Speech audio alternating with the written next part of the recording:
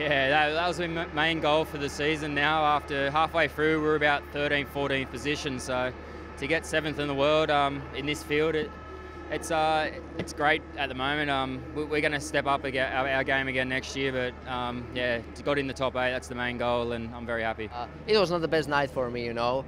Uh, we did a couple of mistakes with the setup with my team, and that uh, that mistake cost us uh, plays in semifinals. So uh, yeah, we take it like experience for the future. And uh, uh, from the from the other hand, you know, I'm very happy to be number five in the world. So very appreciated for that. And uh, yeah, that's cool.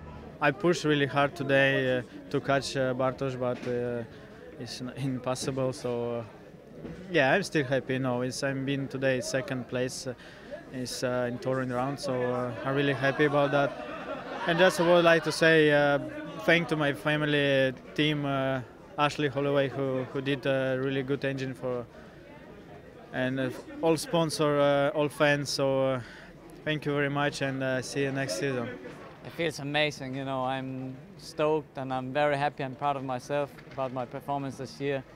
Uh, halfway through the season, I, I got the big crash and injuries with my ankle and problem with my back. So I'm very happy for what I've achieved this year, and now I can call myself the vice world champion. And uh, what a way to finish a great season with a win here in Torun today with maximum points.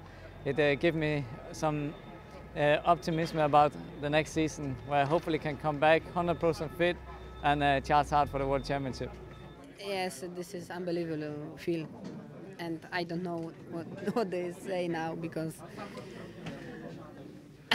you know I'm Bartosz Zmarzlik world champion. So this is amazing feeling, and uh, I think so.